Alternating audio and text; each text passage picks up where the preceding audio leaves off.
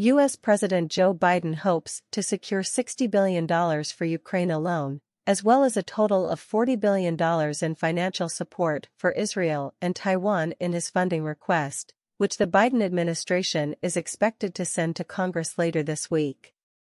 Source NBC News, citing inside sources. Details According to the publication, leading congressmen are already receiving information about the new funding package, which is likely to be included in the proposal of the Biden administration, which is planned to be presented to Congress this week.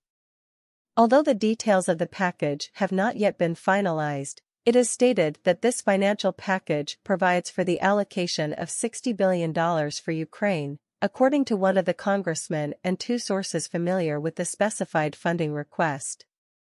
The second part of that request would include roughly $40 billion for aid to Israel, Taiwan and the US-Mexico border.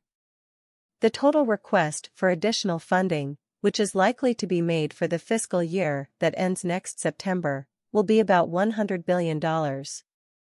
Усім дякую за перегляд. Коментуйте новини, ставте лайки, підписуйтесь на канал. Підтримуйте канал фінансово. Деталі в описі до відео. Все буде Україна!